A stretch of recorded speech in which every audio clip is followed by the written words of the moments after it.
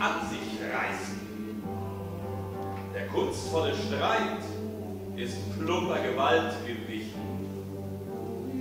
Geldschatullen vertreiben die geistlichen Lieder und Waffen.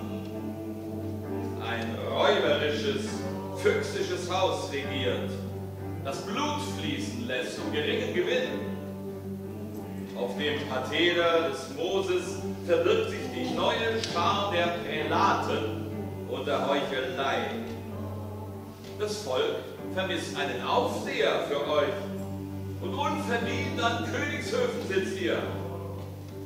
Von diesen zieht euch also zurück, denn euch zernagt am Stamm euer Frevel. So werdet ihr zusammenbrechen.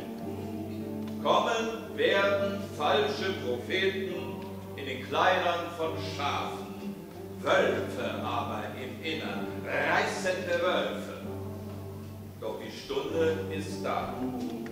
Wenn die Schlechten nicht gelenkt werden, ist Gefahr im Verzug.